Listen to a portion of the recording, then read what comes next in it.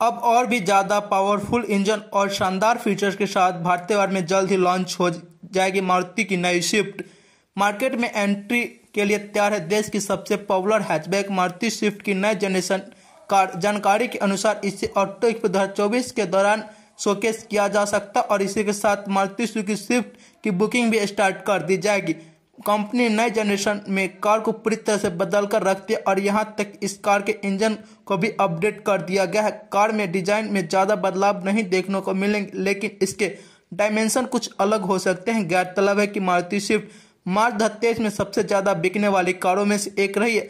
आइए जानते हैं इस मारुति स्विफ्ट के डिज़ाइन में क्या बदलाव हो गया और इसके फीचर्स में क्या क्या नए ऐड किए गए हैं। बात करेंगे इस वीडियो में तो बने रहेगा वीडियो के लास्ट तक। दोस्तों, सबसे पहले बात करें मारुति सुजुकी स्विफ्ट दो के डिज़ाइन की। तो इस कार के डिज़ाइन में ज़्यादा बदलाव नहीं देखने को मिलेंगे, लेकिन इसके डायमेंशन कुछ अलग हो सकते और वह इसके बम्पर के डिज़ाइन और हेडलाइट का डिज़ाइन को बदला जा सकता। है वह इस कार को स्पोर्टिव लुक देने के लिए इसमें डुअल कलर टोन दी जा सकती है। इसी के साथ इंस्ट्रूमेंट क्लस्टर के डिज़ाइन को भी बदलाव किया जा सकता है। साथ ही एसी के वेंट्स को भी नए डिज़ाइन के रूप में लाया जा सकता है, जिससे ये गाड़ी डिज़ाइन और के मामले में काफ़ी ज़्यादा स्पोर्टी होने वाली, जिससे गाड़ी काफ़ी और बेहतरीन हो जाएगी। वही बात करें, सबसे खास मारुति स्विफ्ट दो गाड़ी के इंजन की तो बताया जा रहा है कि नई स्विफ्ट में फ्रंक्स के इंजन का इस्तेमाल किया जाएगा, जिसके बाद मौजूदा मॉडल से नई जनरेशन कहीं ज़्यादा पावरफुल हो जाएगी। वही सूत्र के अनुसार कार को माइल्ड हाइब्रिड टेक्नोलॉजी के साथ भी इंट्रोड्यूस किया जा सकता है। इस कार में टर्बो बूस्टर पेट्रोल इंजन का इस्तेमाल किया जाएगा, जो कि वन लीटर तीस सिलेंडर पेट्रोल होगा, लेकिन इस कार का पावर कहीं ज़्यादा बढ़कर हंड्रेड पी की पावर पैदा करेगी, जिससे गाड़ी इंजन माइलेज में काफ़ी बेहतरीन हो जाएगी और इसके इंजन पावर को भी पहले से बढ़ा दिया गया, जिससे गाड़ी पहले से काफ़ी बढ़िया और शानदार होने वाली है।